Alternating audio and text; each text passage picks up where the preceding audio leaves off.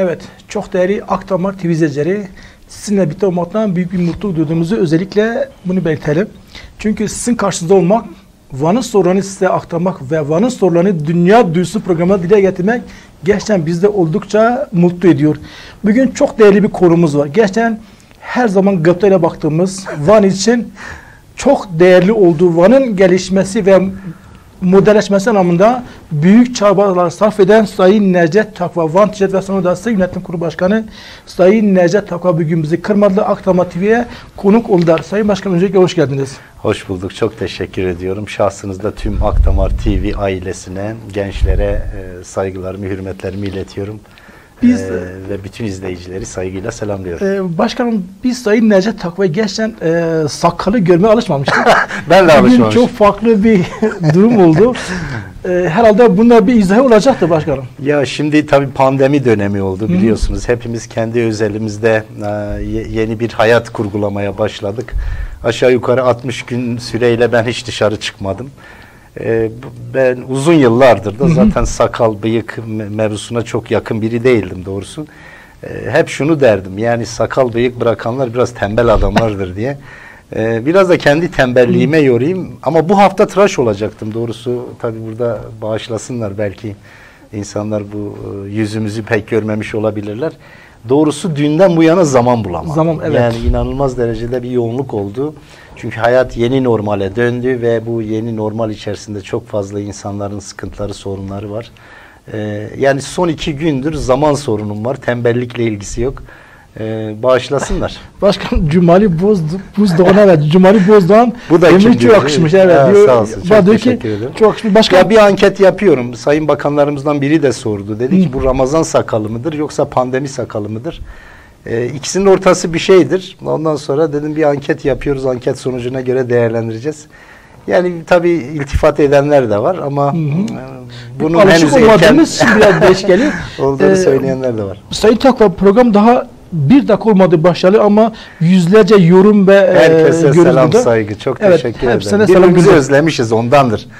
Ee, çok sağ olsun. Şükrü Bey diyor ki Can Başkan her yönüyle yakışıklı ve çok teşekkür karizma ediyorum. Diyor. Çok sağ olsun. Ee, başkanım size bu gelen yorumları biz program arasında arar okuyalım çünkü. Ya şimdi ben seninle oturunca heyecanlanıyorum. Yani ulusal televizyonlara çıkıyorum bu kadar heyecanlanmıyorum. Dünya duysun. Dünya, dünya bunu duysun evet. Dünya bunu duysun. Ama Ayhan yazdık her zaman e, bizi heyecanlandırmıştır. Hürmetli Akdamar TV'yi seviyor sayıyoruz. Ee, amacımız bana bir katkı sunmaktır.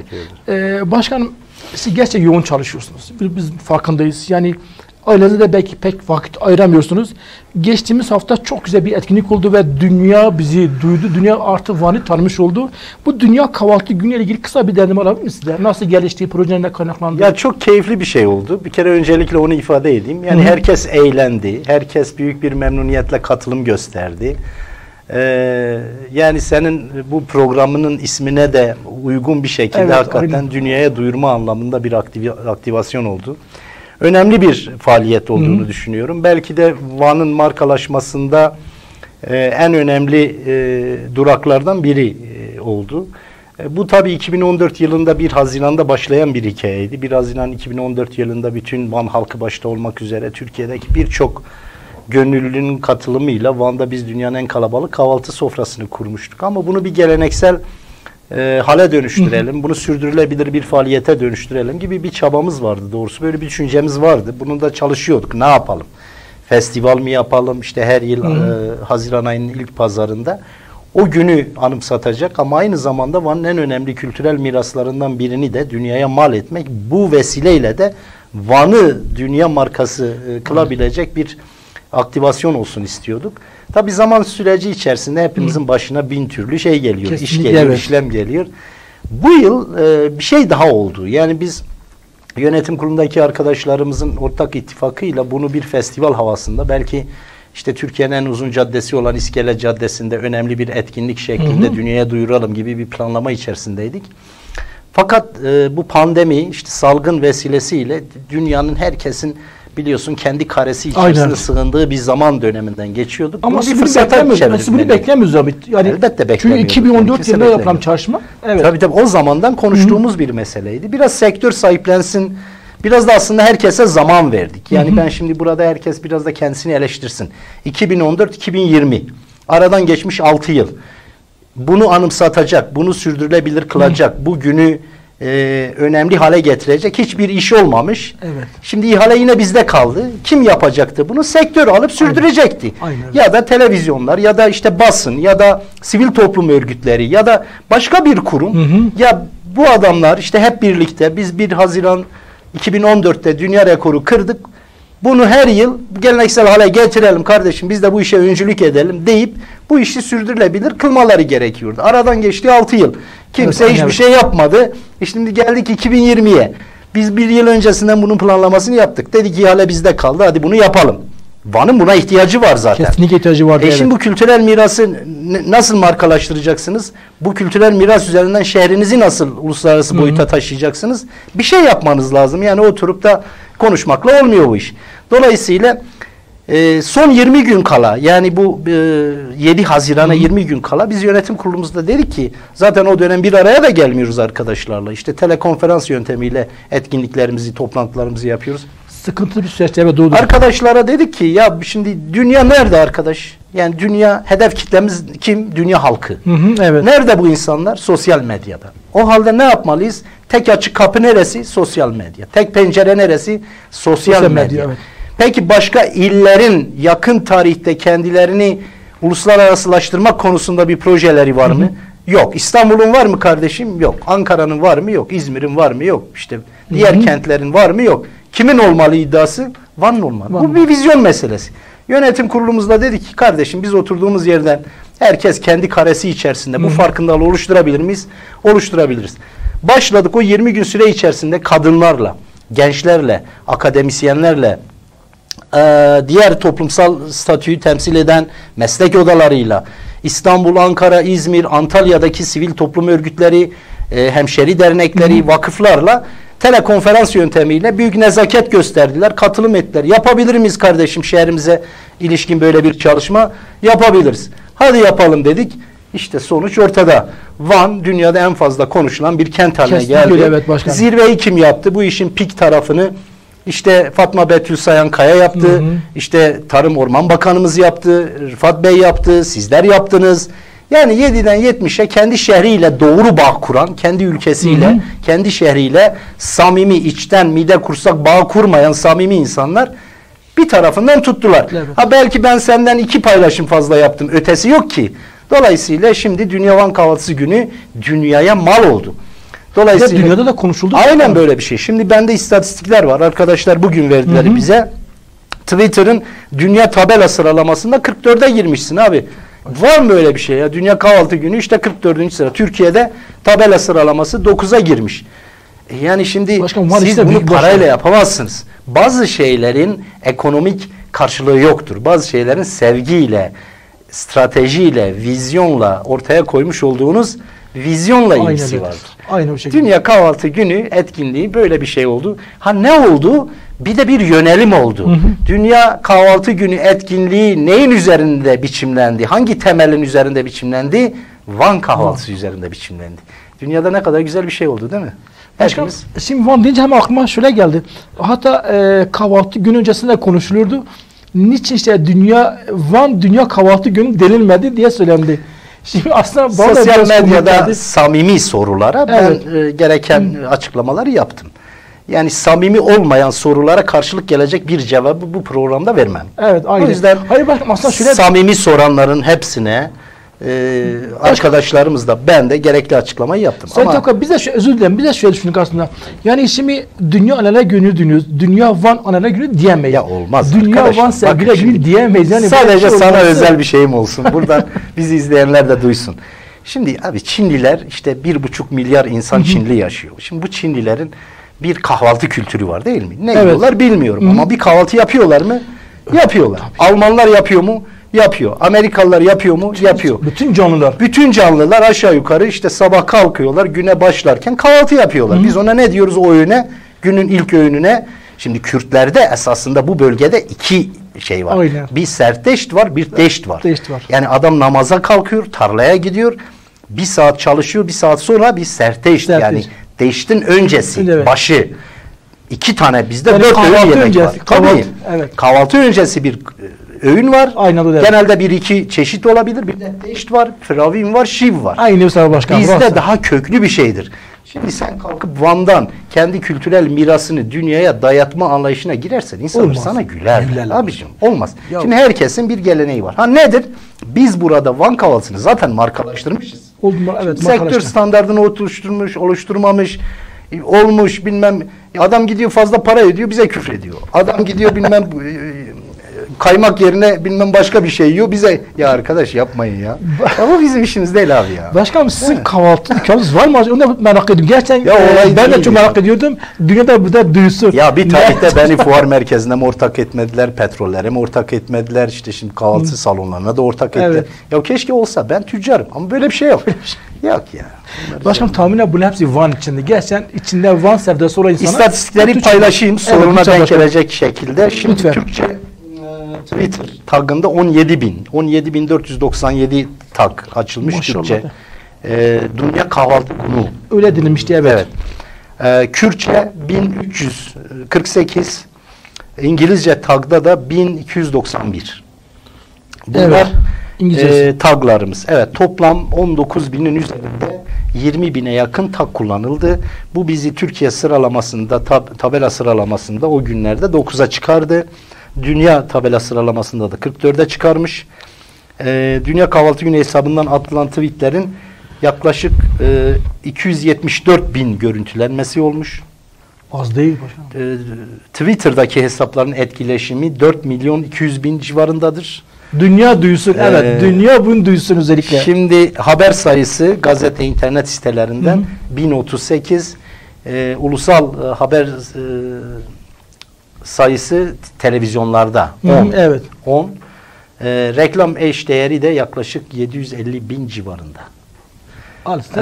Ee. Instagram paylaşımları da Hı. 2000 ve üzerindedir. Onu ölçemiyorlar arkadaşlar ama 2000'in üzerinde görüntüler Instagram paylaşımı var. Başkan Van için Ee, çok büyük bir tanıtım oldu işte. Ya Van her şeyi hak ediyor da işte Allah selametlik versin. İnşallah iyi olur. diyeyim Ama başkanım yavaş yavaş insan da artık bunun farkına varabildi. Ee, gerçekten Dünya Kahvaltı Günü dünyada konuşulması bizi de oldukça e, memnun mutlu etmişti. Biz de elimize geleni yaptık. İnşallah yerini bulmuştur. Ee, başkanım şöyle bir sorun da var. Şimdi tüccarların başında bulunan bir Estağfurullah, ben o onların ayaklarında duruyorum. Evet. Ee, her ne kadar ama e, yorumda görüyoruz ki bayağı bir e, soru ve yorumda gelmiş. Herkese selam saygılar. S- özellikle sınır ticaretinin canlanması konusunda merak edilen soru ne zaman canlanabilir ya da böyle bir düşüncesi var mı? Canlanır? Olmaz bu sene için başkanım. Ya şimdi e, aşağı yukarı son 3 yıldır biz e, sınır ticaretinden istediğimiz verimi alamıyoruz. Hı hı. Bunun tabi e, Kapıköy Gümrük Kapısı'nın modernizasyonu, açılışı, o sahanın düzeltilmesi, Türkiye'nin o bölgeye yaptığı yatırımlar, Hı hı, Evet. bunlar bizim tarafımızdaki realiteydi ve sınır ticareti işte STM'nin kapanması, alan daralması, kısmi olarak açılması, kapanması gibi bir takım spekülasyonlar oldu. Hı hı. Dolayısıyla son 3 yıldır bizim 3 yıl öncesinde yaptığımız sınır ticareti düzeyini yakalama imkanımız olmadı. Şimdi bu yıl bir şey daha oldu. hı. Biz hep şunu söylüyorduk ya biz şu kapıyı yaparsak göreceksiniz İran inanılmaz derecede buna karşılık verecektir. Kapı Çünkü İran evet. halkı nihayetinde geldiğinde bizim kapımızı gördüğünde kendi ülkesinin de benzer düzeyde en az bunun kadar güzel, bunun kadar modern, bunun kadar işlevsel bir kapı yapması Hı. yönünde bir baskı uygulayacaktır. Kaldı ki hükümet yetkilileri de e, sınır kapılarını e, yarıştırıyorlar. Yani devletler sınır kapılarını yarıştırıyorlar. Şimdi siz dünyanın en güzel kapılarından birini inşa ettiniz. Sanmayın ki dünyanın en yoksul ülkesi de olsa kısa zamanda muhtemelen daha güzelini yapma gibi kendi mimarisiyle yapma gibi bir çabanın içerisinde oluyorlar. Bu ikili ilişkilerde, komşuluk ilişkilerinde nihayet ülkelerin karşılıklılık ilkesi içerisinde yürüttükleri bir faaliyettir. Şu anda mesela yaklaşık 3 ay önceden gördüm ben. Hı hı. İlk paylaşımları da biz yapmıştık sağ olsunlar. Şimdi bizim handikapımız e, Razi Hoy yoludur. Hı hı. Evet, yani doğru. orada Razi Hoy, e, evet. bir 80 kilometrelik güzergah içerisinde bir 30 kilometreye yakın e, büyük araçların geçişini engelleyen e, şeyler Ama var, başkanım, köprüler var. Uzun süredir yapılacaktı bir türlü yapılmadı o da var. Şimdi işte yapılıyor. Yapılıyor. Bir tane viyadük bitmiş. Hı hı. İki tanesinde de yoğun çalışma var. Ama aynı bizim e, 100 milyonluk e, Kapıköy yatırımımız gibi İran şimdi Razi tarafında kendi tarafında bir inşaat başlattı. İnşallah bu inşaat da kısa zamanda bitecek ve inşallah biz sınır ticaretinden 3 yıl önceki performansa geri döneriz. İyi bir performans mıydı? Hayır değildi. Bizim iddiamız şudur. Biz diyoruz ki ticarete konu olan bütün malların sınır ticaretine konu edilmesi gerekiyor. Neden? Aynen, Çünkü evet. bizim bölgemiz dezavantajlı bir bölgedir. Bizde çok fazla zengin insan yok. Kaldı ki sınır ticaretine işte e, akaryakıtın, fuel oil'un, petrol türevlerinin konu edildiği dönemlerde elde edilen kentsel zenginlik özel sektör binalarının, kamu Aynen binalarının önüne geçmesine sebebiyet verdi. Organize sanayi bölgesinde ilk kurulan e, fabrikalar petrol ve türevlerine ilişkin yağ fabrikasıydı işte e, asit bilmem ne. Yani petrol ve türevlerine ilişkin fabrika. O zaman Van ayağa kalktı. Elbette yani şimdi organize sanayi bölgesi o dönem sınır ticaretinde elde edilen yerel finansmanın sonucuydu. Bir Aynen, evet. ihtiyaca, ihtiyaca e, tekabül ediyor. Bizim hızlı bir şekilde tekrar o konuya gelmemiz lazım. Ha şimdi çok özür dilerim. Türkiye'nin taraf olduğu uluslararası anlaşmalar bunu çok mümkün kılabiliyor mu? Mümkün kılamıyorlar. Ancak bizim bunu çözmemiz lazım. Neden? Sınırda bekleyen olmak istemiyoruz. Biz sınırda ticaret yapmak Aynen istiyoruz. öyle, evet doğrudur. Bizim bir iddiamız var. Biz diyoruz ki dünyanın başka ülkelerinde sınır, kara sınır kentleri zengindir. Niye? Ticaret yapıyorlar. Ama Türkiye'de kara sınır kentlerinin kaderi aynıdır ve yoksuldur. Ama başkan Vanlıların daha doğrusu bu bölgede ticaret yapması izin verilmiyor ki. İşte verilmiyor. Ben de bunu söylüyorum. Yani seninle aynı aynı Evet, şeydeyiz. başkanım. Ben de diyorum ki yani kara sınır kentlerinde yaşayan insanların sınır düzeyinde ticaretlerinin önünün açılması lazım. Bunun Kesinlikle. kolaylaştırılması lazım. Sınır ticaretinde sağlanan muafiyetler aslında ithalat ihracata ya da diğer ismiyle tarifeli ticarete konu olan tüm mallarda uygulanması gerekiyor. İnsanlar ha bunu kısıtlayabilirsin. Kotalar koyabilirsin kardeşim. Sen Aynen buradaki çiftçiye uygun fiyata mazot sağlayabilirsin. Buradaki çiftçiye uygun fiyatta traktör temin edebilirsin. Dolayısıyla burada bir tarımsal kalkınmadan söz etmek mümkün olabilir. Türkiye'de iç piyasada üretilmediği dönemlerde ülkenin iç ihtiyacını karşılayacak tarımsal e, ürünlere e, izin verebilirsin. O dönemlerde engellemeler getirebilirsin. Elbette biz kendi ülkemizin hak ve çıkarlarını e, korumak durumundayız. Kaldı Kesinlikle ki ticareti de kayıt altına almamız gerekiyor. Şimdi en önemli sorun o. Kayıt dışılık. Kayıt dışılığı Kayıt dışı evet önüne geçmek lazım. Tabii kayıt dışılığı ortadan kaldıracak mekanizmalara ihtiyaç var. Siz yasakladıkça kayıt dışılık artar. Kesinlikle doğrudur. Vergi vergi arttırdıkça kayıt dışı artar. Dünya bunun duysun. Bu çok Bu önemli dünyanın. Evet. her yerinde böyle bir şeydir. Yani siz e, ticaretteki kotalarla, sü- süre kotasıyla, ürün kotasıyla, fiyat kotasıyla oynadığınız zaman kayıt dışılık artıyor. Neden? 100 kilometre ötede 1 litre mazot 50 kuruş. Aynen Burada doğru. ne kadar? Aynen 5 doğru. lira. Aynen doğru. Şimdi bakın arkadaşlar siz ne yaparsanız yapın insanların o zenginliğe erişimini engelleyemezsiniz. O zaman o zenginliği sınırlı ölçüde de olsa bölgesel zenginliğe kavuşturacak yasal altyapıyı sağlamanız lazım. Formül bu kadar basittir. Şimdi yöneticilerin bu meseleyi böyle idrak etmesi lazım. Başkanım Emin Müçü özellikle ısrar konusuna. öpüyoruz. Şöyle bir şey yazmış. Keşke sizin gibi memlekette 5 kişi olsaydı. Sizler bu memleket için büyük bir şansınız. Ee, Ahem de başarılar diliyorum. Emin abi beş kişiye beddua etme. Ben Yani çok başkan dayak yiyorum. Özellikle ısrar ediyor. Biz de Emre'ye teşekkür ediyoruz. Başkanım yorumlar oldukça fazla. Sağ olsun. Nasıl bir çözüm bulalım bunlara? Her gün beni programa davet edeceksin. Yani başka- üstüne para vereceksin. program yapacağız. Çok hem e, oldukça izleyici sayısı çok çok fazla hem Abi de o zaman haftada fazla. bir bizi çağıracaksın, reklam verecekler. Biz de burada hem sen kazanacaksın hem biz kazanacağız. yapacağız. Yoksa böyle ayda bir, üç ayda bir kerhen davet edeceksin. Biz e, gerçekten Necdet Başkanımıza çok teşekkür Biz çok ediyoruz. istiyoruz. Yoğun- Çıkmayı da Ayhan bize izin vermiyor. Arkadaşlar şikayet ediyorum. yani. inşallah e, çıkacağız programa çünkü Necdet Bey gerçekten Van için bir değerdir. Çok sağ ol. Başkan sadece Van değil Van dışında da çok çok izleyiciler vardı. Biz burada hepsine teşekkür ediyoruz. İnan ki fırsat buldukça e, okumaya yer vereceğiz inşallah bu yorumlara. Tamam. Başkanım e, bir de sınır şartına söz açıldı. Sınır, sınır şartının önemi dile getirildi. Geçtiğimiz güne de Van'a e, karpuz ve muz şeklinde e, ürünler getirdi ama hepsi çürüdü başkanım. Evet. Ve videosu da bizde var. Eğer arkadaşlar verebilseler görüntüsü de vardır. Peki- Onları yeterince izledik. Hoş görüntüler Değil mi başkanım? değil. Evet, hoş görüntüler değil. Peki hoş başkanım, değil. Yani odası olarak nasıl Şimdi bakın? geçen hafta bizim başkan vekilimiz Fevzi, evet bey. Sayın Fevzi Çeliktaş bu konuyu bütün detaylarıyla, bütün Hı hı. uzmanlığıyla, Aynen, bütün kesinlikle. deneyimiyle ve bütün acısıyla aslında e, bu ekranlardan e, kamuoyuna duyurdu. Oradaki bütün görüşler bizim odamızın genel bakış açısıdır, yani beyanlarıdır, e, arkasında durduğumuz beyanlardır. Hatta ben orada Van Ticaret Sanayi Odası'nın kurumsal görüşlerini bu kadar açık, şeffaf, samimi ve doğaçlama ifade ettiği için de kendisine teşekkür ettim. Gerçekten o görüntüleri tekrar e, yayınladım. Aynı zamanda yönetim kuruluna da bu görüntüler çerçevesinde genel perspektifimizi değerlendirmeleri konusunda ricada bulunduk. Dolayısıyla onun üzerine söyleyecek çok şeyim yok. Yani ben Fevzi Bey aşağı yukarı hep diyor Kapıköy'ün bütün tozunu, zahmetini evet. biz çektik. İşte son birkaç yıldır o işleri yapmıyor. Farklı sektörde faaliyet gösteriyor.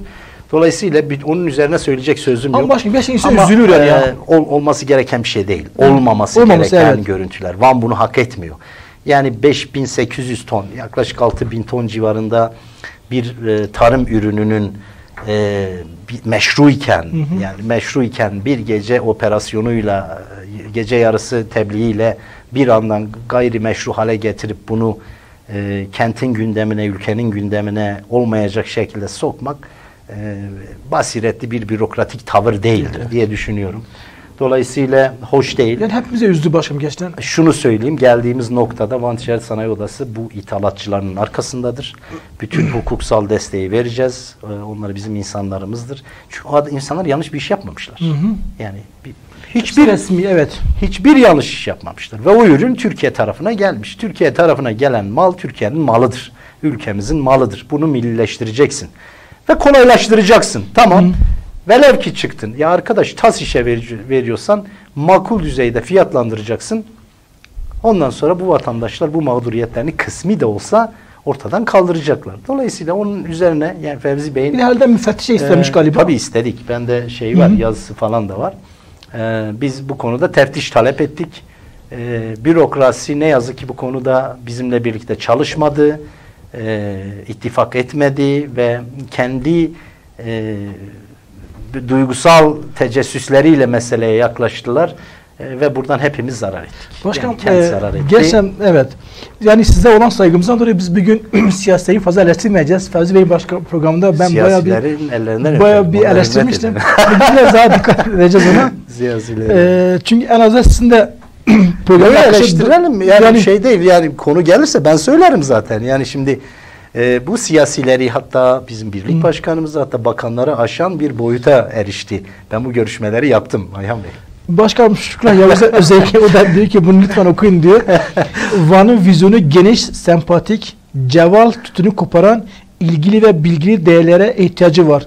Necdet Bey bu bağlamda Hocam, saygıyla selamlıyorum seni. Çok Özellikle teşekkür biz de burada Şükrü. Bey'e selam gönderiyoruz. Başkanım yorumları ara ara okuyorum. Hocam ben de bu eğitimle ilgili bir yorum yapayım. Ne olacak bu kentin eğitim Evet, o da eğitimde Şimdi geçen bir tane eğitimci e, Şükrü hocam iyice dinlesin bunu da paylaşsın. Diyor ki ya diyor böyle şehir mi olur diyor. Yazmış sosyal medyada. Hı hı. İşte Türkiye'de 500 sanayi kuruluşu açıklanmış. İçinde Van'dan bir tane şirket yok. Ben de merak ettim. Profiline baktım. Adam eğitimci. Hı. Ya arkadaş Van'ın bir kere bir eğitim düzeyine bak ya. Vicdansız. Bir önce bir Eğitim Hocam böyle şeylerle de karşılaşıyoruz yani. Şimdi şirketleri şirketler üzerinden bize e, eleştiri gönderenlere e, sizin aracılığınızı sizi tenzih ederek söylüyorum. Sen iyi o konuda her zaman sizden keyifle e, bahsediyoruz. E, böyle şeylerle de maalesef karşılaşıyoruz. Bazı olabilir. Başkan samimiyetime söyleyeyim yorumlar çok çok fazla artık yani e, ara ara okuyacağız. Hakkınızı helal edin başkan. Şu ısrar ediliyor yorumlar okunması konusunda. E, şu da başkan aslında gündemi bayağı yakın ilgilendiren bir konu daha var. Bu ahırların yıkılması durumu söz konusu. E, geçtiğimiz gün yine beni aradılar arkadaşlar. Ayhan Bey lütfen Necdet Bey programa çıktığımda bunu dile getirseniz çok seviniz dediler. Hayvan besicileri. Evet. Yani dedik işte yerlerimiz yıkıldı ama bize bir yer tahsis edilmedi. Şu an bizim hayvanlarımız dışarıda kalmışlar. bunun bir çözümü olmayacak mı diyor. Ya şimdi anladığım kadarıyla tabii bu bir, bir handikap. Şimdi kentleşme böyle bir şeydir. Siz Hı hı. şehir merkezinde hayvan besleyemezsiniz. Evet. Doğru Hayvancılık tabii. faaliyeti Usul, evet. yürütemezsiniz. Yani siz şimdi New York'ta işte New York'un e, bilmem caddelerinde, Wall Street'te bilmem şurada burada e, hayvan barınağı yapabilir Olmaz misiniz? tabii ki Olmaz. uygun değil evet. Neden? Bu hem hayvan sağlığı açısından hem insan sağlığı açısından sakıncalı bir durumdur. Şunu da söyleyeyim. Bakın biz 2016 yılında Kalkınma Ajansı ile birlikte Tarım İl Müdürlüğümüzün rehberliğinde kent içi ahır sorununa ilişkin bir çalışma yaptık. 1567 tane 3 ilçede hayvan barınağına ulaştık ve şehir merkezinde yaşayan bizlerle birlikte. Yani o zaman şehirde 450 bin, 500 bin insan yaşıyordu. Evet. 500 bin insan yaşıyordu. 100 bin de hayvan yaşıyordu. Bunun 80 bini küçük baştı. 20 bini de büyük baştı. Baş, evet. Yani 500 bin insan e, Edremit, İpek Yolu, Tuşba ilçesinde birlikte yaşıyoruz. 100 bin hayvan da yine bu üç ilçede birlikte yaşıyoruz. yaşıyoruz, evet. Şimdi bakın hayvanların yaşamsal habitatıyla insanların habitatı bir değil. Yani siz bizi birlikte yaşatamazsınız. Doğru, evet. Birlikte yaşayamayız. Onları yaşatabiliriz fakat bu mümkün değil. Dolayısıyla hayvanların yaşam alanları farklıdır. İnsanların da farklıdır. Hatta dönemin Kalkınma Bakanı Cevdet Bey'di. Biz buradan bir heyetle gittik. Elimizde dosyalarımız. Dedik Sayın Bakanım Cevdet Bey'e verdim koydum. Dedim ki şehir merkezinde 500 bin insanla birlikte 100 bin hayvan yaşıyor. Evet, aynen. 80 bini bi- küçükbaş, 20 bini büyükbaş. Şimdi Van kentleşemez ki, şehirleşemez, markalaşamaz.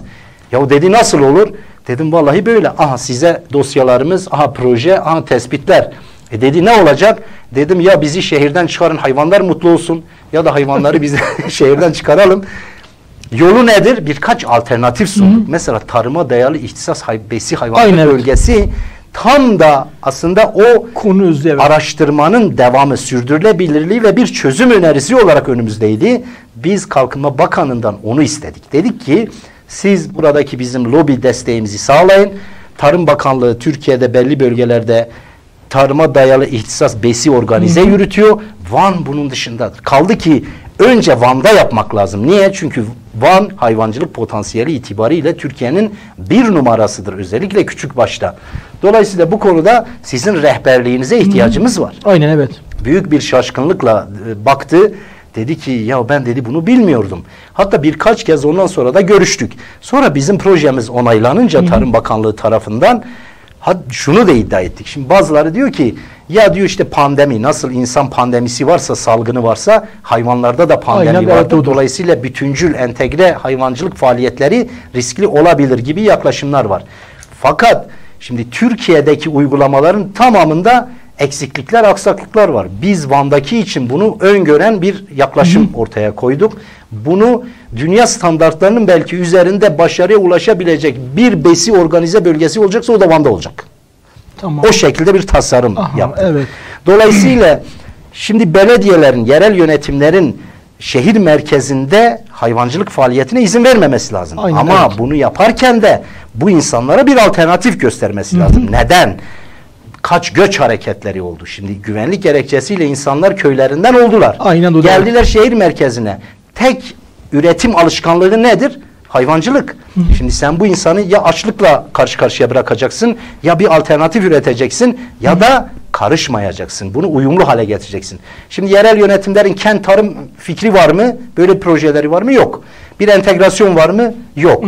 TDİ OSB'nin hızlandırılması konusunda bir lobi çalışması var mı? Yok. E valla benim canım sıkıldı hadi ben barınakları yıkıyorum demek de şu aşamada doğru değil.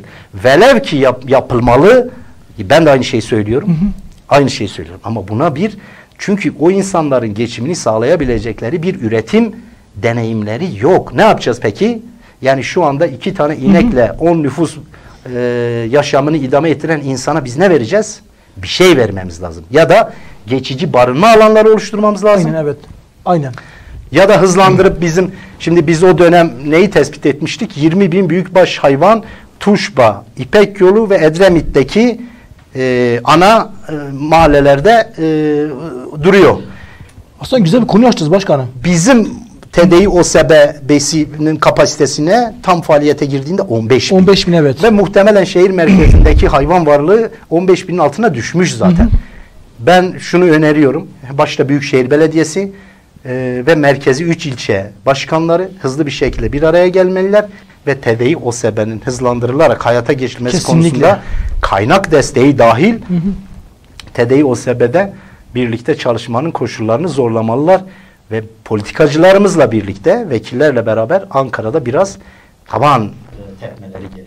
İşte başkan bazen biz milletvekillerimizi eleştirdiğimizde millet diyor. Bu "Arkadaşlar, eleştiri değil ki. Ben şahsımı Bu söylüyorum. onlara şey, bu yol göster, evet, yol göster. Ben her zaman diyorum bizim bu kentin Van'ımızın siyasetçileri kesinlikle tam anlamıyla siyaset yapamıyor. Çünkü siyaset yapmak iş üretmek demektir. Siyaset yapmak sadece birinin açılışına katılmak değildir. İş yapmak önemlidir. Şimdi arkadaşlar bu ahır sahipleri diyor ki hayvanımız dışarıda kalmış. ya bu ben hayvan- bugün sevgiyle buraya geldim. Yani şimdi Evet başkanım o yüzden fazla Herkesi eleştirmeyiz. öpeceğiz ya. Biz fazla eleştirmeyiz biliyor musun? Bugün Bugün fazla iyi yani. İnşallah başkanım. Peki bu e, tarıma yönelik hayvancılık bölgesi ne zaman bitebilir başkanım? Hani bunu hizmete girmesi anlamında. ben- nasıl böyle bir öngörü Ben var? 3 yıllık bir öngörüm var. Yani orada en azından ilk e, tahsislerin yapılması konusunda 3 yıl gibi bir zamana ihtiyaç var. Ama dediğim gibi bunu hızlandırmak mümkün. Tarım Bakanlığı'nı yatırım programına dahil etmek mümkün. Teşvikle desteklemek mümkün.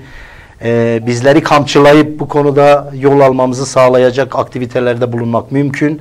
Mümkünatları mümkün olmayanlardan daha fazla bir projeden bahsediyoruz. İnşallah başkanım erken zamanda bir tek işim varsa bu vatandaşlarımız da mağdur olmasınlar. Hepimizin derdi bu insanımız. Hepimiz aynı gemide Aynen, yaşıyoruz. başkanım. Dolayısıyla onların problemi var. Aynen inşallah başkanım ne Necdet Takar'ın başkanlığı bu Ama çözüm biz- bulacaktır.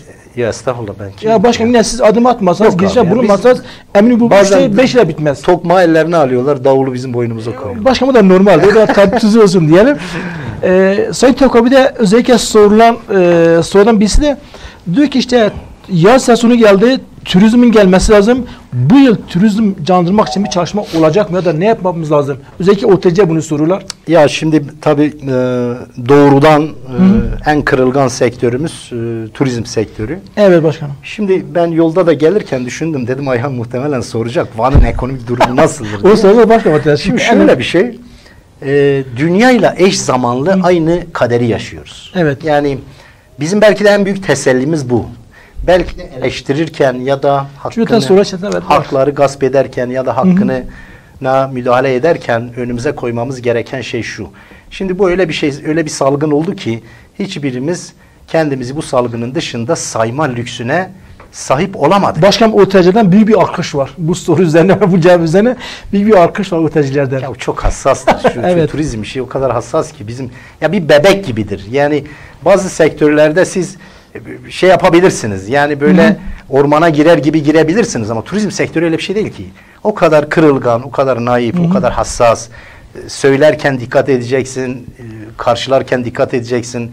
Van'da işte ne yazık ki bu bu tür şeyler var. Yani bu, bu bunu anlamayan turizmciler yok mu? Var ama çoğunlukla bu konuda turizmin ne kadar kırılgan, hassas ve en ufak bir rüzgardan, en ufak bir yelden, en ufak bir eee kıpırdayıştan etkilenen bir sektör. Turizm çok hassas. Bebek evet, gibidir. Yani siz her şeyiyle bir kenti turizme hazır hale getirebilmeniz için 7'den 70'e bunu içselleştirmeniz lazım. Hassasiyeti ortaya koymanız lazım. Çünkü turizme konu olan, hedef olan insanlar senin gibi değiller. Hayata senin gibi bakmıyor olabilirler, inanç sistemleri farklı olabilir, yaşam biçimleri farklı olabilir, beslenmeleri, giyimleri. Yani hiçbiri senin kalıbına uy- uymuyor. Aynen evet. Dolayısıyla sen ben bir turizm kenti olacağım dediğinde bu mobiliteye sahip olman lazım. Yani onların dilini öğreneceksin, onların alışkanlıklarına göre göre davranacaksın gibi. Yani her şeyde böyle Evet, aynen. bakacaksın. Yok ben böyle durayım ama turist de gelsin. Olmaz. Yok abi öyle bir dünya yok. Yok, Yani yok. sen sen kara, kaşına kara gözüne gelmez. Dolayısıyla turizm çok hassas bir alan ve pandemiden de doğrudan Fark ediyor etkilenen başkanım. Fark ediyoruz evet. etkilenen bir sektör. Turizm bir bebek gibidir. Az önce de söyledim. Evet. Yani sen ona çok her mamayı yediremezsin. Ee, her bezi bağlayamazsın. Her kundağı yapamazsın. Her Yani- beşiğe yatıramazsın. Turizm deyince akan sular duracak. Her adam da ben turizmciyim dememeli. Peki başkanım kazandırabilecek miyiz bu sene turizm? Kazanacağız. Şöyle bakın geçen gün ben bir turizm seyahat acentesi aradı beni. Pazar günü sohbet ettik. Başkan dedi ne öneriyorsun? Dedim bakın belediyelere bir çağrıda. İlk kez bunu burada yapıyorum. Biz aslında pazar günü meclis üyelerimizden meclis üyelerimizi şeye götürüyoruz. Kıyıdan e, şeye denizden kıyıya bakma Hı. programına götüreceğiz. Sahile götüreceğiz. Yani Van'ın koylarına götüreceğiz. İç turizme hizmet etmek amacıyla. Sizin aracılığınızla ben bir projeyi hayata geçireyim şimdi. Belediyelerimiz 65 yaş üstü ve 20 yaş altındaki vatandaşlar biliyorsunuz uzun süre yasaklı kaldılar. Aynen o da evet. Alsınlar bunları. Aynen Araç tahsis etsinler abicim. Bütün Van'ın tarihi turistik yerlerini bir gezdirsinler. Önce bir Bence içeriden mükemmel. başlayalım abi. Bence mükemmel bir evet. Sabah kahvaltısı Dünya versinler. bunu evet. Sabah kahvaltısı versinler. Benim o kadar param yok. Hı hı. Ticaret odası olarak. Ben ancak kendi karemde bir farkındalık oluşturacağım. Kocaman kocaman bütçesi olan belediyelerimiz. Çok fazla paraya da gerek yok. Van'dan başlayalım abi. Önce iş turizm. Sonra ulusal turizm. Sonra uluslararası. Başlayalım abi. Başkale Belediyesi, kayyumu neyse, Gürpınar, Edremit, İpek Yolu, Tuşbe ben bir çağrıda bulunuyorum. Yani 65 Kentimize- yaş üstü ve 20 Önce onlardan başlayalım. Aynen evet. Neden? O insanlar uzun süre içeride kaldılar. Müthiş başkanım.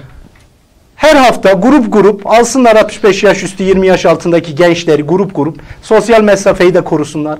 Orada bir sosyal mesafe, hijyen, maske eğitimi de yapsınlar o arada uzmanlar da olsun. Abi e, Gevaş Belediyesi Akdamar Adası'na götür. Çok güzel fikir başkan. Gevaş ilçesini bir gezdirsin. Bence evet harika. Para harcasın biraz. Neden? Şehrin ekonomisi için. Ve bu işi de kendisi yapmasın. Bir seyahat acentesine versin. Birine de vermesin. Beş kişi ortak etsin. Aynen doğru evet. Bu işi yapan beş tane se Van'daki seyahat acentesini çağırsın desin kardeşim kar etmeyin ama bir faaliyet olsun. En azından biraz da ticarete dönmüş olacak. Dönsün yapalım bunu başlayalım. Değil mi? Ee, biz burada bütün Al sana belediye başkanımıza sesleniyoruz. Şimdi seyahat acenteleri bir de, de başkanım sosyal belediyecilik anlayışına da bu girmiş oluyor. başlayalım. Bir Evet. yerden başlamamız lazım. Tabii tabii. Seyahat acenteleri de daha orta yaş, orta yaştaki hiç Van'ın tarihi turistik değerlerini görmeyen insanlara maliyetine turlar düzenlesin. Hı hı. Hadi bakalım. Al sana proje. Aslan proje hem de iş Biz turizmi. önce bir Evet. Bir şehrimizin etrafını biz şeye götürsünler bu Zilan'daki Hı hı. e, Tigem alanına götürelim. İşte Meher Kapı'ya götürelim. Saray'da, Özalp'ta, Başkale'deki peri bacalarına götürelim. Travertenlere götürelim değil mi?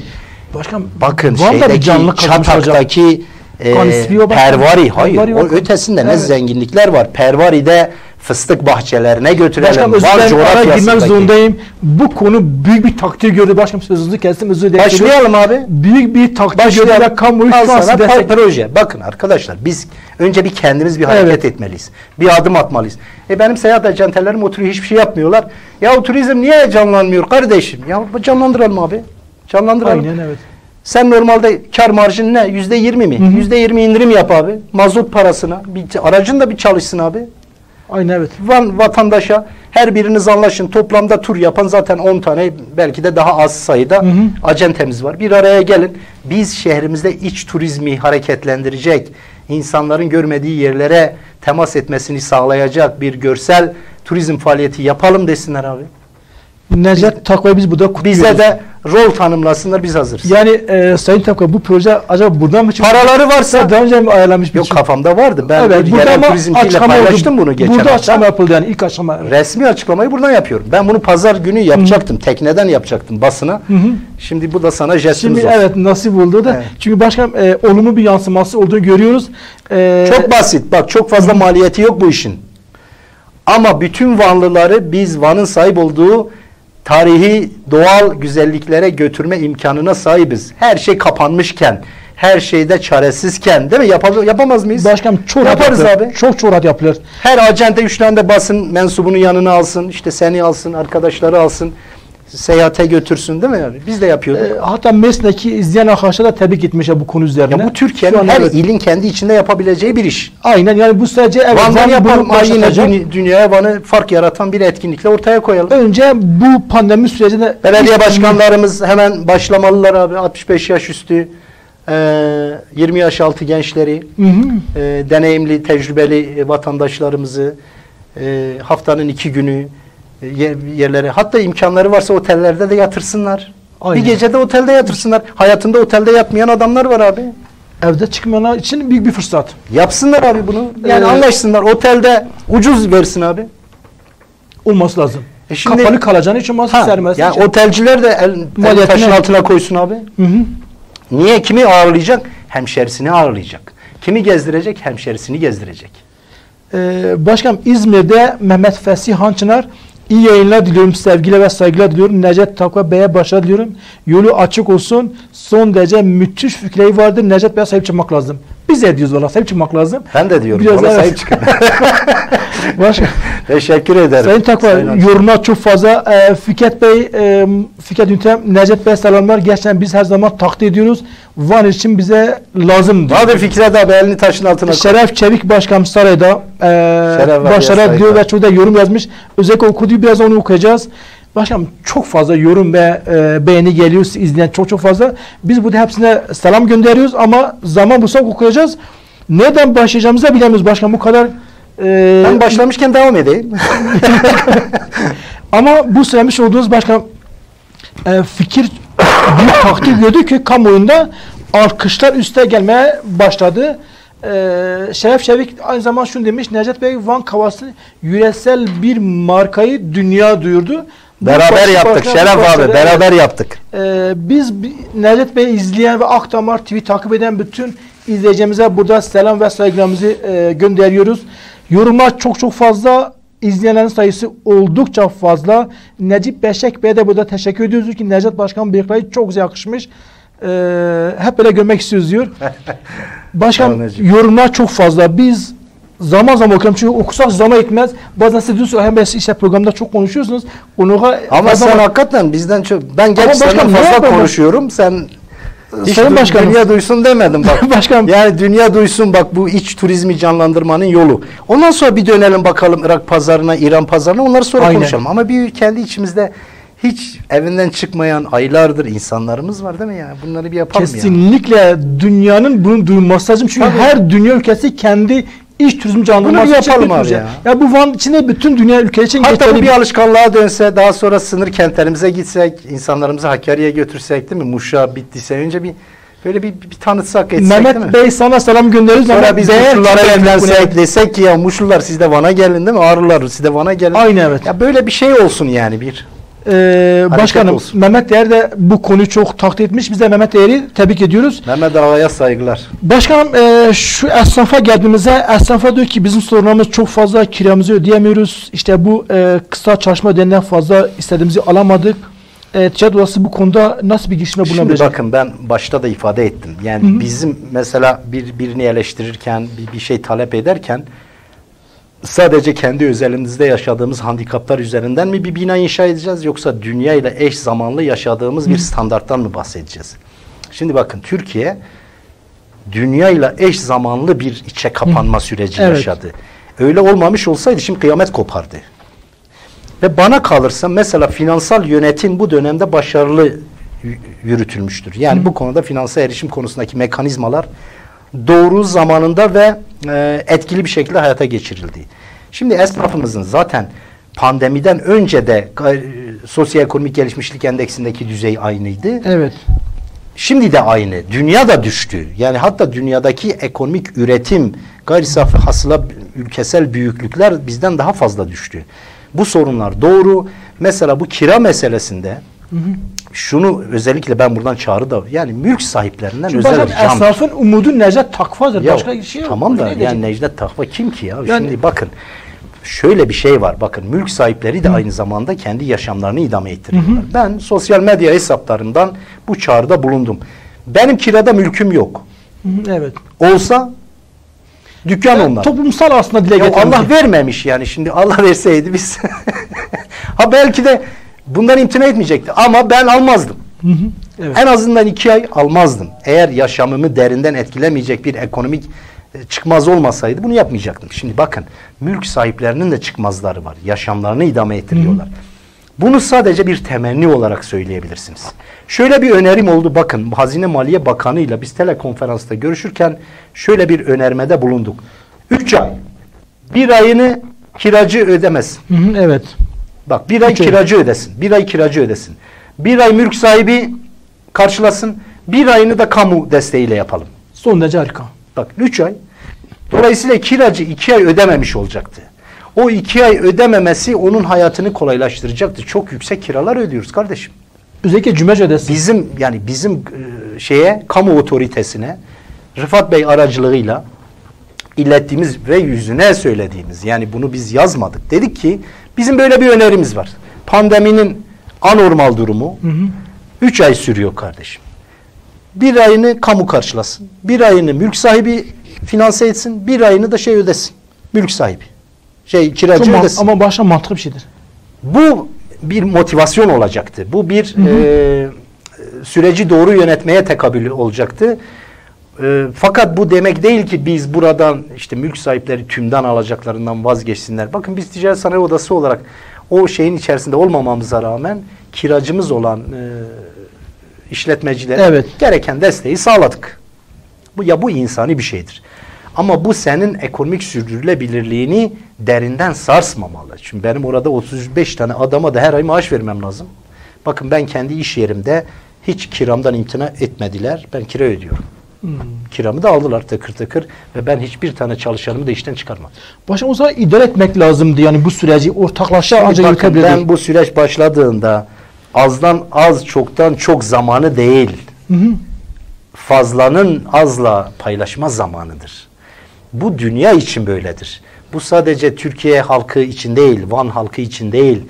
Yani dünya öyle bir e, tanımadığı, bilmediği düşmanla bir üçüncü dünya savaşına girdi ki böyle bir süreç yaşadık. Bu bir savaş. Kimse beklemiyordu çünkü. Bir anda Aynen. evet Dolayısıyla herkesin birbirini yok etmek yerine bir dayanışma içerisinde birbirini var ederek bu süreci atlatması lazım. Yani oturayım ben her gün bu pandemi sürecinde söyleyeceğim milyonlarca eleştiri var. Süre, zaman o zaman değil ki.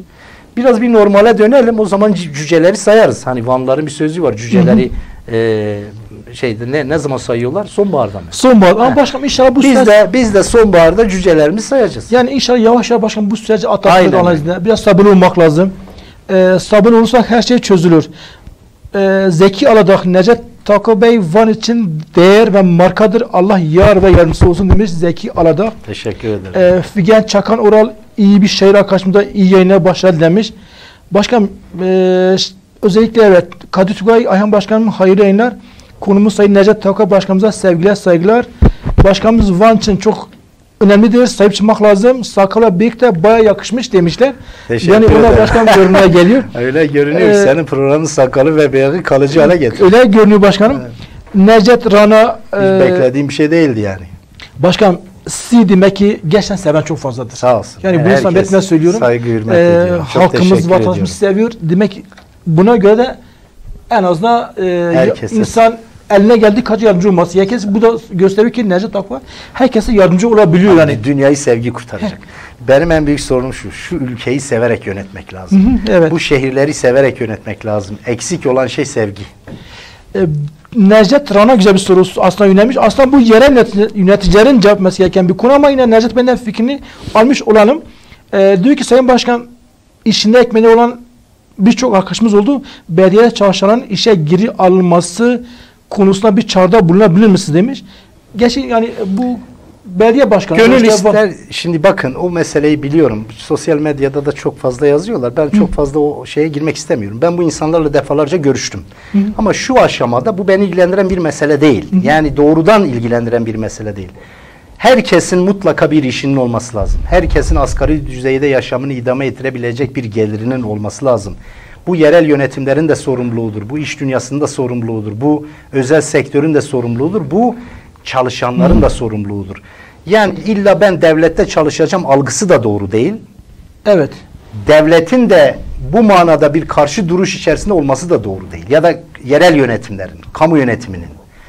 Şimdi biz hep şunu söylüyoruz. Ya iş aramayın arkadaş, kendi işinizi kurun. Bunun yolu var. Bana yazıyor, para olmadan olur mu? Olur abi. Başkan özellikle bunu soracaktım. Sizin iş kur çağrınız Para- vardı. Bu, evet. Para olmadan da olur abi. Yeter ki çalışın. Ben bir size bir örnek vereyim. Belki de bizi dinliyor. Ben buradan isim verip rencide etmek istemiyorum. İsim Gece saat 11. Ramazan ayında iftardan sonra eşi üç tane çocuğuyla evime gelen bir arkadaş. Ben ertesi gün ona iki gıda paketi getirdim kapının önüne bıraktım. Eve. Dedim ki yarın sabah 8'de gel. Beraber çalışalım. Geldi. Aldım ben onu. Dedim niyetli misin? Evet dedi ya ben orucum. gençsin dedim. Sana ben bir iş vereceğim ve sana yömiye de vereceğim. Ve ona çok basit bir iş tanımı yaptım. Ben dedim ki sen bunu çalış. iki gün burada işin var. iki gün sonra da ben seni işe alacağım. Ben seni çalıştıracağım. Çok Evet. güzel evet. 32-33 yaşında bir genç, güçlü, kuvvetli. Dedim niyetliysen kendini yorma. Abi dedi ben niyetliyken tırpan çeken adamım. Hiç sorun değil. Hı. Sizi temin ederim. Ben 40 dakika oradan uzaklaştım geldim. Orada iş yer, yani çalıştığı yerde evde e, yerler esiyordu. Bak ben ona ertesi gün iki tane de gıda paketi Evet. getirdim. Dedim ki bugün işini bitirsin bunları da alıp evine götüreceğim. Bana da yakın bir adam, Hmm. komşu. Bakın arkadaşlar çalışmıyor insanlar. Çaldıran'a gittim geçen hafta. Jeotermal seralara gittim. Mühendis pırıl pırıl bir genç Hı hı. Dedi ki ben Çaldıran'da çalışacak adam bulamıyorum. Serada, jeotermal serada. Peki başım bu neden Ya- kaynaklanıyor? Ya, şimdi abi, ya böyle herkes belliye mi alıştırdık acaba insanları? ya işte masa başında olsun bilmem abi yok böyle bir dünya yok. Bundan vazgeçmemiz lazım abi. Bizim 24 saat çalışmamız lazım. Bana bana bazen kızıyorlar. Sen diyor şu şusun busun. Ya arkadaş biz gelişmek istiyorsak, büyümek istiyorsak e, yani kendimizi ifade etmek istiyorsak 24 saat çalışmamız lazım. Öyle e, haftada 40 saat çalışarak biz ne toplumumuzu dönüştürebiliriz, ne ülkemizi dönüştürebiliriz. Hiç kimse kusura bakmasın. Bir de Bunu biri için değil, kendimiz için yapmalıyız. Ben o arkadaşları çok dinledim.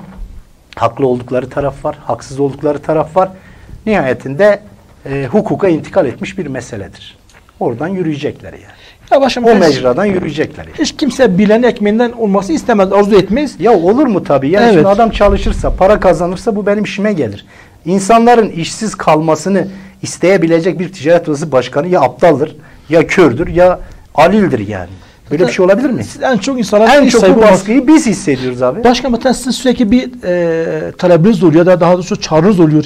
İşte iş istemeyin, iş kur. Hatta siz Odası merdivenlerin basamağında yazmışsınız. O basamakta ben de okudum. İş e, istemeyin, iş kurun demişsiniz. Bu çağrınız başkanım neye göre söylüyorsunuz bu Van'da mesela? Gerçekten Van'da işsizlik has safhada. Şimdi bakın geçen Fevzi Bey de söyledi. Ben mümkün Evet. olduğunca tekrara düşmek istemiyorum.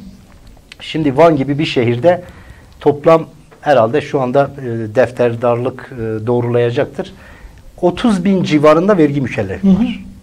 Toplam bak 1 milyon 200 bin nüfusumuz var. 30 bin vergi mükellefi var. 30 bin kişi vergi veriyor. Ya da vermiyor, zarar ediyor, büyüyor falan filan. Ama vergi mükellefi 30 bin civarında. Evet, evet odur. Yani aktif diyebileceğimiz. Bunun 7 bin civarında ticaret odasındadır. Diğeri esnaf odalarına kayıtlıdır. Bir kısmı da kayıt dışıdır. Yani e, meslek odalarına kayıt yaptırmamış insanlar. Şimdi bu Van'a yakışmaz. Bizim burada vergi verenlerin sayısını arttırmamız lazım. Bizim burada maaş üretenlerin sayısını arttırmamız lazım. Kim maaş verecek? Tüccar verecek, esnaf Aynen, verecek. aynen, evet. Bakın küçük bir büfe açan adam yanında en az iki tane adamı doğrudan finanse eder hale geliyor. Bak küçücük bir büfe. Aynen, Şimdi abi herkes maaşlı olmak istiyor. Böyle bir dünya yok. Maaşı da alınca geliyor bizi dövüyor abi. O yüzden bu ülkenin kalkınması, gelişmesi için maaş üretenin sayısının maaş alandan fazla olması Fazla lazım. olması lazım. O yüzden diyorum iş arayacağına işini kur. Ama başkan birçok gençler sizin bu söylemlerinizde kulak da veriyor. Ve işlerine kurduklarına bir şahitlik etmiş, edebiliriz. Yani. ya. Çünkü şahit olduk iş. Bak kurduklarına. demokratik değişim dönüşümün yolu da budur. Hı hı. Hatta ben birisine sordum. Bu ya, bürokrasiyi ya adam maaş alan olan bürokrattır. Evet. Bürokrat da hak getire yani. İşte geçen sosyal medyada paylaştım modern devletin bilmem neyi. Hı hı. Ee, O hale gelmiş ki bürokrasi neredeyse bir yönetim biçimine geliyor abi. Tehlikeli. evet. Bizim tüccar esnaf sayısını artırmamız lazım. O adamlar iyi adamlardır. Tüccar her zaman iyidir başkan. Ya İşini bilen evet. Aklı- toplumun çimentosudur. Bürokrat kendini böyle göremez. Fıtratı da buna uygun değil. Yaptığı iş buna uygun değil. Bugün git yarın gel. İşte işine geldi. Telefonuna da cevap vermez. Bilmem şunu yapmaz. Bunu da yapmaz yani. Bu Türkiye'nin en, en önemli sorunlarından biridir. Cumhurbaşkanı da bundan şikayetçidir. Ben de şikayetçiyim abi. Ee, başkan Veysel Erdemci herhalde o da İzmir'de yazıyor galiba. Demiş ki bilişim alanında yapılan çalışmalar nelerdir? Teknokent çalışmaları hakkında Necdet Başkan e, yorumlarımı paylaşabilir mi acaba? Teknokentle ilgili çalışmalar. Yani çünkü artık zaman, bilişim zamandayız. E, teknoloji zamandayız ve dünya da yeni bu evreye doğru yöneliyor. E, bir de Niye özellikle o soruyu seçtin sordun? Başkan bilmiyorum vallahi. Özellikle ısrar etti bana. Israr etti başkan. Hayır, Evet, teknoloji doğru. çağına doğru gidiyoruz Doğru ya. söylüyor. Doğru söylüyor. Şimdi bak ben Yani buraya yazmıştım. ilgili evet. Ee, yani şey, hep şunu söylüyoruz ya dünyada hiçbir şey eskisi gibi olmayacak. Aynen. Özellikle siz söylüyorsunuz Ee, başkanım. Evet yani hiçbir şey eskisi gibi Aynen, olmayacak. öyle de olmuyor zaten. Ticaretin kuralları da değişti. Değişecek, evet. Ekonominin kuralları da değişecek ve ülkelerin e, kendilerini uluslararası ligde ifade etmelerinin biçimi de değişecek. Dünya Mesela duysun bizim- bunu evet. Dünya Bizim duysun. bir tane Türk şirketi e, bir firma tarafından, Amerikalı bir grup tarafından 1.8 milyar dolara satıldı. Hı hı. Neydi bu? Oyun yapan bir şirketti. Yani bilişim Yani ortamında. evet. Bilişim, Evet, teknoloji, yeni e, şeyler, yeni yaklaşımlar. Şimdi bizim de Van'ı bunu hazırlamamız lazım.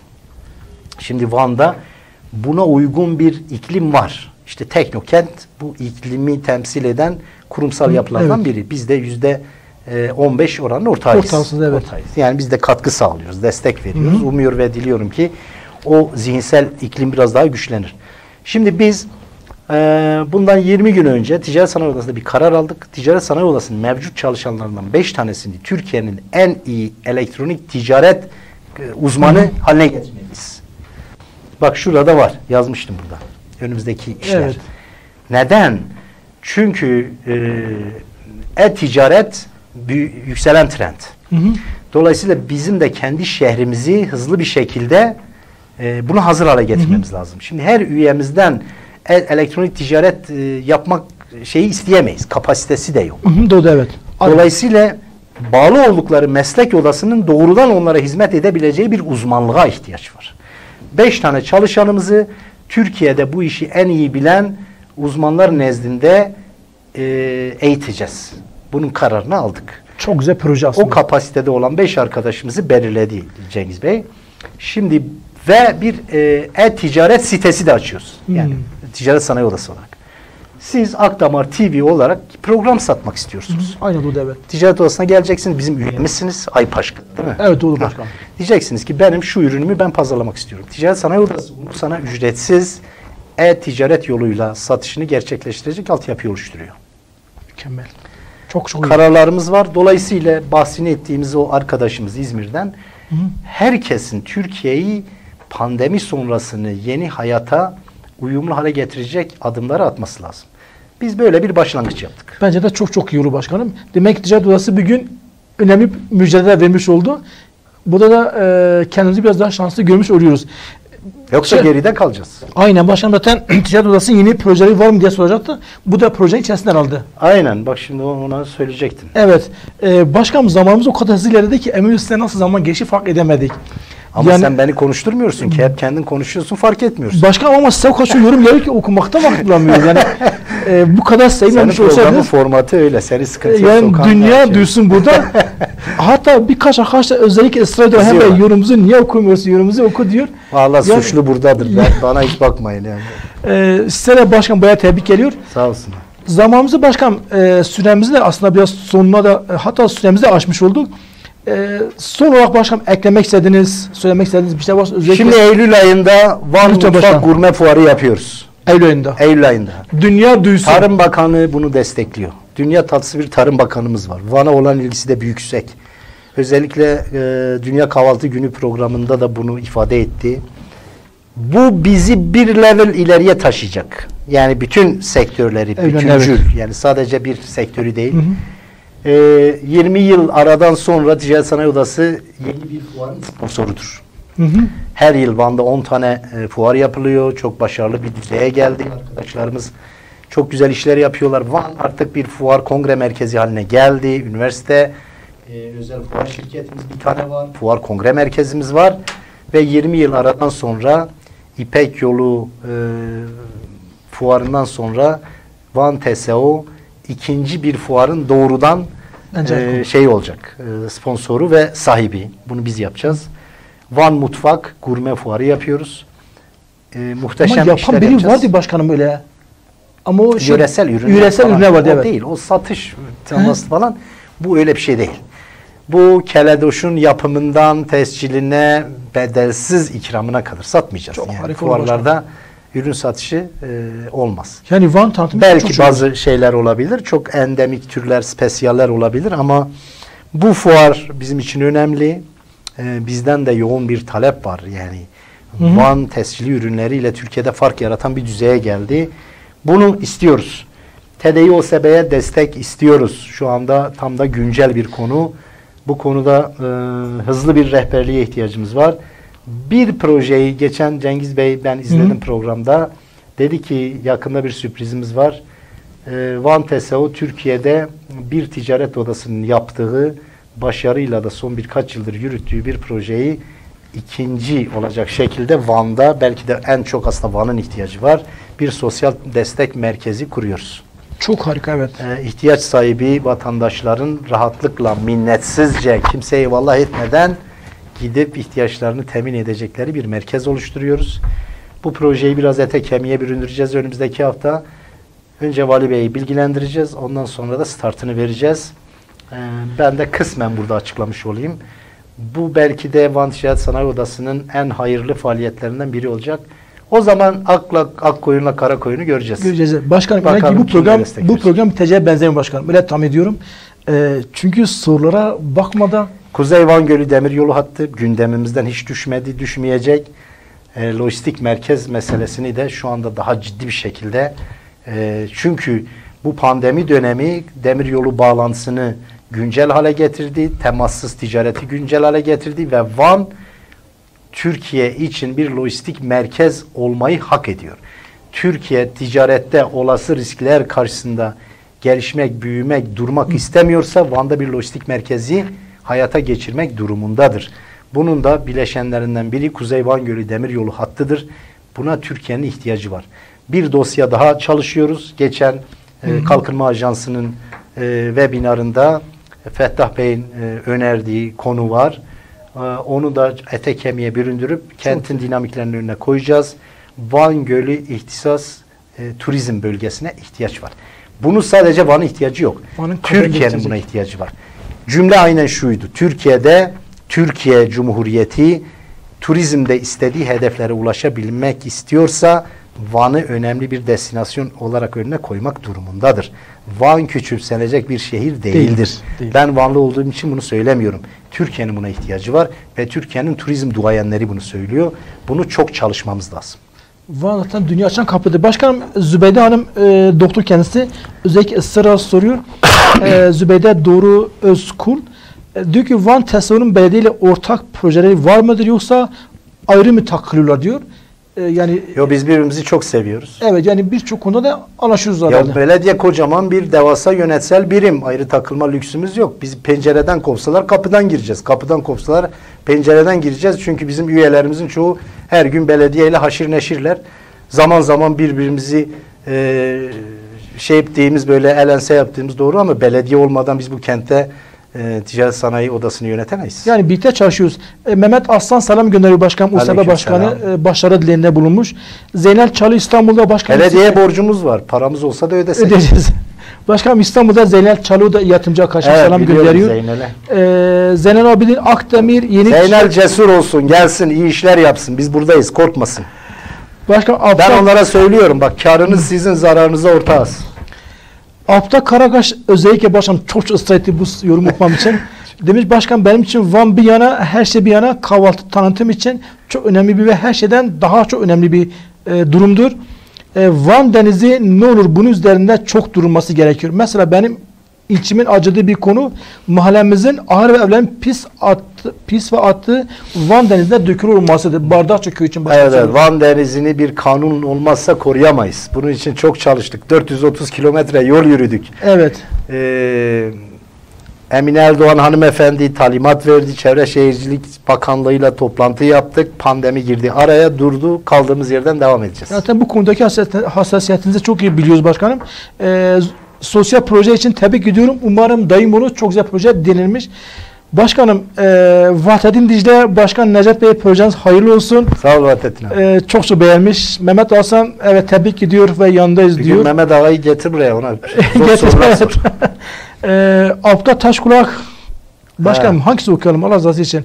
Sayın Başkanım sizin yönetiminiz çok doğru. Size yönetimimizde de başarı diyoruz. Teşekkür ederim. Yani başkanım yorumlar çok fazla Kamil Say tebrik ediyor başkanım sizleri. Rıdvan Aktaş tebrikler diyor. Diyor ki ben bu sosyal projeyi yapmaya hazırım diyor. Hadi bu da turizmci arkadaşımız Rıdvan Aktaş. Rıdvan Aktaş. Ha, tamam. Ee, yani diyor ki bu Necdet Bey Ha, iş turizmle ilgili. İş turizmle ilgili diyor. Biz- Hemen başlayalım. Evet diyor Hemen. hazırız diyor.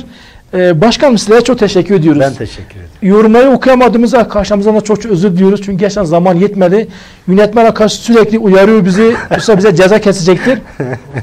Necdet Başkan'la gerçekten yaptığımız her program çok dolu geçiyor. Zaman da çok hızlı ilerliyor. Bir kez daha Necdet Taka Başkanımıza çok çok teşekkür ediyoruz. Başkan varsa eğer unuttuğumuz ya da işte söylemek istediğiniz varsa. Bütün bu söylediklerimin arkasında çok cesur, yiğit, samimi, birbirini seven bir ekip var. Bütün bu faaliyetlerimizi hayata geçiren e, arkadaşlarıma, yönetim kurulu arkadaşlarıma, Ticaret Odası Meclisi'ne, çalışanlarımıza şükranlarımı sunuyorum. Ve bizi her zaman bağrına basan kıymetli Van halkına da bu vesile saygı hürmetlerimi iletiyorum. Çok Size de çok başkanım. teşekkür Başkanım ederim. çok naziksiniz. Ee, Zeynel Abidin Aldemir Eminönü yapmış olduğunuz proje doğru güzel projedir. Bu projeyi Necdet Takvadadosu Van Ticaret Sanayi Odası'nda destekleyeceğine eminim. Siz tek etli projenizi söyleyin. Ee, demiş ki Zeynel, Demir e, strese karşı bir iş atlet yani iç giyim yapmış. Hmm. Tabii tabii. En çok benim ihtiyacım var. İlk müşteri benim. Ee, Vahden Dicle'de burada selam gönderiyoruz. Projemizi çok beğenmiş. Çünkü 65 yaş üstü olduğu için gezme en çok ona işten yarayacaktır. Ondan dolayı çok beğenmişlerdir.